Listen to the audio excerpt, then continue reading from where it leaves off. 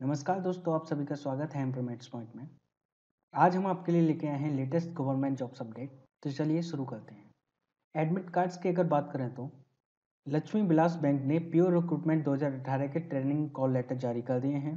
South western railway ने junior engineer के admit card issue कर दिए हैं, जिसकी एग्ज़ाम डेट सात मार्च दो हज़ार उन्नीस है। अवोध्या कोऑपरेटिव बैंक ने क्लर्क वैकेंसी 2019 के एडमिट कार्ड इशू कर दिए हैं, जिसकी टेंटेटिव एग्ज़ाम डेट 10 मार्च 2019 है। तो बात करते हैं रिजल्ट्स की। आईटीबीपी ने जो बासठ हेड कांस्टेबल की वैकेंसी निकली थी 2017 में, उसका रिज़ल्ट डिक्लेयर कर दिया है। इलाहाबाद हाई कोर्ट ने सैंतीस डिस्ट्रिक्ट जज यूपी एस वैकेंसी 2018 का रिज़ल्ट डिक्लेयर कर दिया है। हरियाणा एसएससी ने फाइनल रिज़ल्ट डिक्लेयर कर दिया है कांस्टेबल वैकेंसी 2018 का। यूपी पुलिस ने फाइनल रिज़ल्ट डिक्लेयर कर दिया है एसआई वैकेंसी 2016 का। Bihar state power holding company limited ने assistant, junior accountants, clerk, junior account assistant, clerical, grade second, junior assistant, store assistant and accountant department का result declare कर दिया है। वहीं Bihar state power holding company limited ने लेखा प्रवीण परीक्षा exam 2018 का भी रिज़ल्ट डिक्लेयर कर दिया है। भारतीय रिज़र्व बैंक नोट मुद्रण प्राइवेट लिमिटेड ने इंटरव्यू लिस्ट जारी कर दी है असिस्टेंट मैनेजर वैकेंसी 2018 की।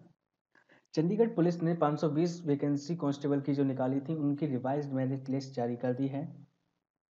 यूपी ट्रिपल एस सी ने फॉरेस्ट गार्ड और असेंबली गार्ड का जो एग्ज़ाम 2016 में हुआ था, उसका रिज़ल्ट डिक्लेयर कर दिया है। Uttar Pradesh power corporation limited ने टेक्निकल ग्रेड सेकंड का रिज़ल्ट डिक्लेयर कर दिया है। अब बात करते हैं answer key. Chhattisgarh public service commission ने स्टेट सर्विस एग्ज़ाम की इनिशियल आंसर की रिलीज़ कर दी है। एसएससी ने junior Hindi translator junior translator senior Hindi translator और हिंदी प्राध्यापक की एग्जामिनेशन आंसर की रिलीज़ कर दी है। तमिलनाडु पब्लिक सर्विस कमीशन ने पर्सनल असिस्टेंट ग्रेड सेकंड की आंसर की रिलीज़ कर दी है।